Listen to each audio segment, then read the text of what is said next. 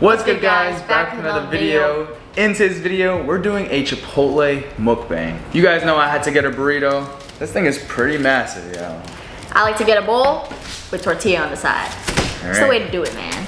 I'm not, Oh. honestly, that's what I Oh. usually do. You know it's a good burrito from Chipotle when it's double wrapped. That guy had a hard time wrapping a burrito. Ah, I got a little baby in here. that thing is massive.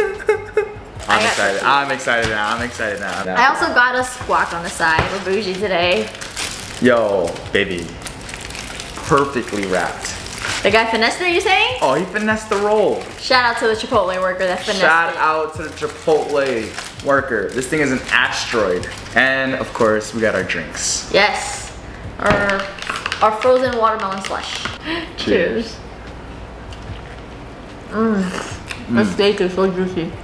Mmm. No lie, Chipotle got me through college. It would be $11 and two meals for me. Solid.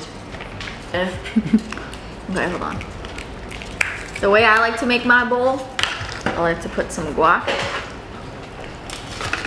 Guac. Okay, okay, okay, okay. Pass me the sour cream. Oh my god, babe. Oh my god. Okay. Of course, got my honey vinaigrette, which I didn't know about back in college, but now I do. I haven't even taken a bite yet. By the time she starts eating her food, I'm gonna be done, yo. It'll be all worth it, guys. Okay? Okay? Mix it, mix it. That's what I do.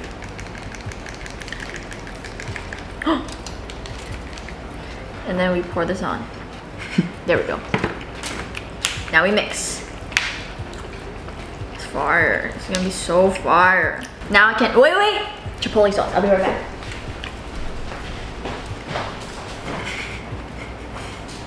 Chipotle sauce. Okay. Mikey, stop. Add some chipotle sauce. Damn, it looks fire. Oh, yes. Now we give it a good mix. Then we grab our tortilla on the side. We rip a nice bite like this. Get a bite with a little bit of everything. Of course, extra steak. A little bit of tomatoes. And finish it off with a dash of chipotle. Okay, I'm ready. And here you go, my perfect bite. I know this bite's gonna be amazing, so come on, cheers with me. Mini burrito, be your big Cheers. burrito. Mmm. Mm-hmm.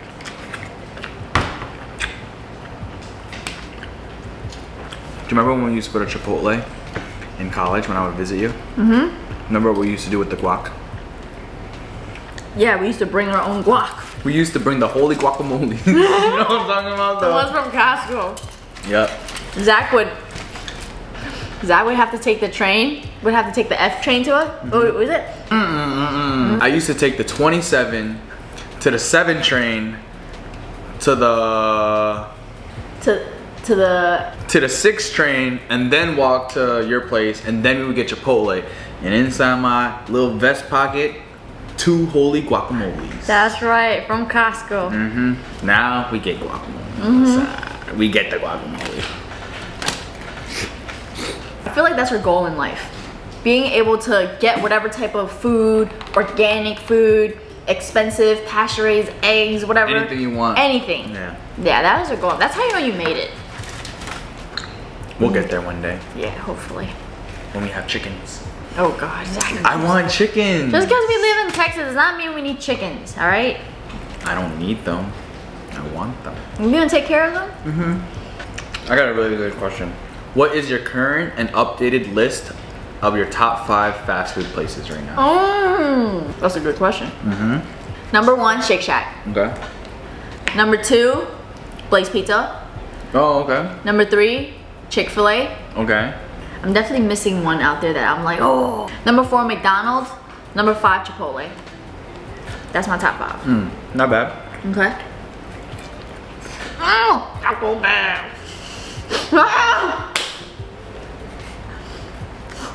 I'm trying to think real hard so I don't mess up. I already messed up because I went first. You're right. Shake Shack number one. Really? Shake Shack number one. Yo, the burger's a bust. Yeah. It's expensive. It's expensive. Hmm. I got one in mind that you're probably not thinking of. It'll be the honorable mention at the end. Okay. Yo, number two, I'm going Chick-fil-A. I'm going Chick-fil-A. Yo, just a spicy chicken sandwich. You just can't miss with that. You get a real nice dense piece of protein too. It feels better than the other ones. Okay. I'm going Chick-fil-A number two. And you get good service. They don't mess up your order. Yeah, bar- rarely, rarely you mess up the order they mess up the order. Dang, this is not an easy question. It's not. I asked it without even thinking about it, bro. Yo, number three, I'm going McDonald's, yo. That's what I'm saying. Bro, McDonald's what is I'm number saying. three. Where did you put it as? Number four. Number four? Okay. I'm going with McDonald's number three. I'm going Taco Bell number four with a Oh. confidence with that. Mm. Confidence with that. Yo, Taco Bell has been hitting for the last couple years, yo. I got number five. If you say if you say what I'm thinking of, I'll give you a hundred dollars. Okay. Okay. I'll be ready to collect. Hold on, let me wash my Wait, hands. wait, Shake, you, shake a hand. wait, you think you think we're, we got the same thing? This is my number fifth option, right? Number fifth, and, and I'm guessing what it is. Okay. I'm guessing. Okay, whatever, whatever. Say it at the same time. Okay, ready? One, two, three. Taco. Wingstop. Ah! Wingstop! I forgot. Nah. Wingstop. I was gonna say Cava because we had it recently and you really loved it, but yes, Wingstop is up there, but they took away the hot honey rub. Oh, yeah. So no, oh, no, true, no. true, true, true, true, true, true. Wingstop. All right, this is the pressure that we're putting on Wingstop. You would be locked in at the number five spot, but you took away the hot honey, so you are no longer on the list. That's right. I actually, had, for real, I'm like actually genuinely mad about that because we ordered Wingstop yesterday, and there was no hot honey, and I felt some type of way. Mm-hmm. Mm-hmm. So yeah, Wingstop could have went from number five, but they're probably at around like ten because of that. Oh, yeah. For real. Solution number five. Blaze Pizza. Wow. Yeah. Coming at number five. Blaze. Pizza. Blaze Pizza number five. Honestly, yo, best bang for your buck. Blaze Pizza can make you three meals if you really make it last. Like you're not beating that. And they use pretty fresh ingredients. You see everything in front of you being made. Mm-hmm. Hmm. Pen, panda, panda, panda. But yeah, it wouldn't be my top. It wouldn't be my top. Nah. Actually, yo, that's not a bad pick though. Panda. That honey shrimp, honey walnut shrimp.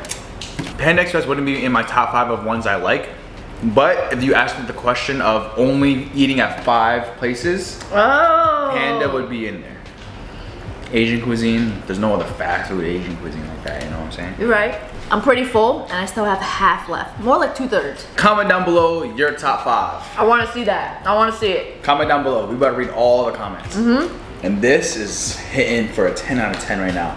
And I've had this every single day this week, and it's still hitting for a 10 out of Yeah. 10. Okay, try this piece of steak. Is it chewy? No, I already tried another piece. Yeah, right. I think I'm actually done eating. what? Yeah, I'm not.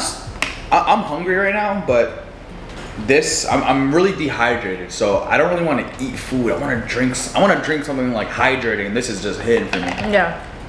Well, I'm gonna finish these last couple bites. But I did want to address one comment that I saw. Honestly, I'm not sure if I saw it on TikTok, Instagram, or YouTube, but I saw it somewhere. It was a good question because it's something that's very relevant and personal to us. So the comment asked, "Is it hard making friends as a content creator?" I want to say when we first moved to Texas, because that's when I officially feel like we started doing this. Being Content creators. Content creators, Right. yeah. When we moved out by ourselves in an apartment in Texas. And when we first moved here, we only had our heads down. Guys, we did 20, we did Vlogmas, 25 videos in 25 days. I was working at EY and we were just grind, grind, grind. We didn't have time to make friends, for real. People would hit us up to like, hey, wanna do this, wanna do that. We're like, oh, sorry, we're busy. No, I think everything you said is pretty spot on, honestly. You're not gonna put your input? I was getting a sip. Oh, I would say that everything Tee said is pretty spot on. When we first came to Texas, our goal was to, yeah, we're in a new environment. We're uncomfortable in this environment. Let's just try to work as hard as possible, try to make as much money as possible, try to be as efficient as possible. And honestly, I think we did a really good job at it, but there was definitely sacrifices, right? Yeah. Our sacrifices were there's no time to hang out. There's no time to play video games. There's no time to go put up shots for basketball, play basketball for fun. The only time we're playing basketball was for content. The only time we're going out to eat at a restaurant is for content. Other than that, we're editing, we're answering emails. Yeah.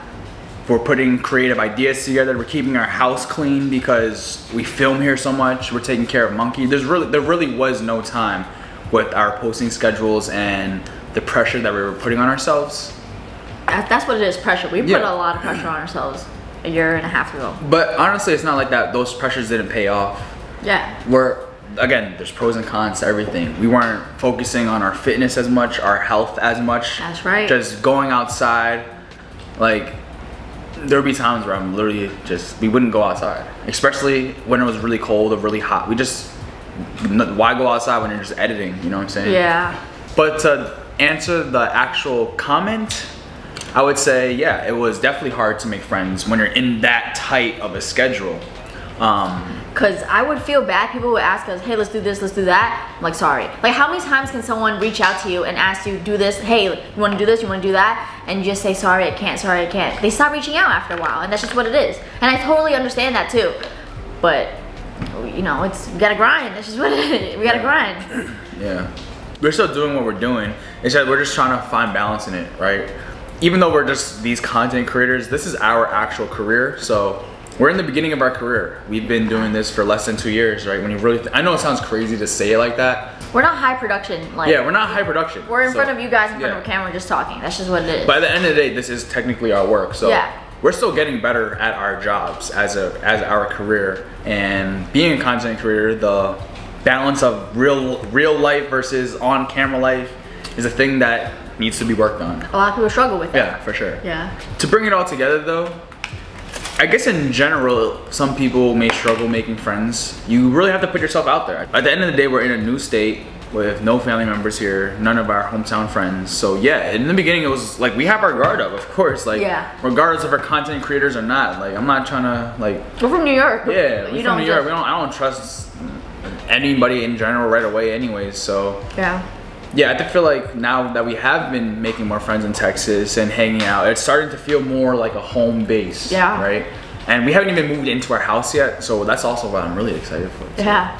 And that's the other thing too, like our apartment is so uninviting. like our apartment is our house, Monkey's house, a playpen, a filming studio, a cooking studio, an editing room. Like it's just not inviting for company, honestly. I'm excited for the house. I'm excited to host. Yeah. You know? You know when we leave this place, we're gonna be so sad, right? Yeah.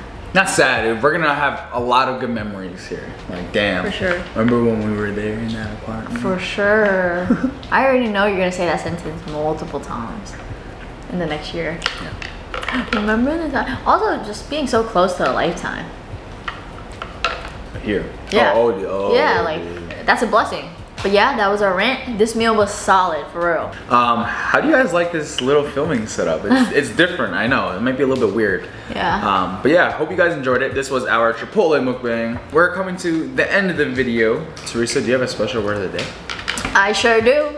If you made it to this point of the video, make sure you comment down below the word watermelon slush. Mm. It's been Facts, hitting. facts, facts, facts, facts, facts. Yo, three ingredients, three ingredients, frozen watermelon, coconut water, and some lime. Yo, fire. Especially in the hot summer, yo, You need it. you gotta try it. But yeah, Stay hydrated, y'all.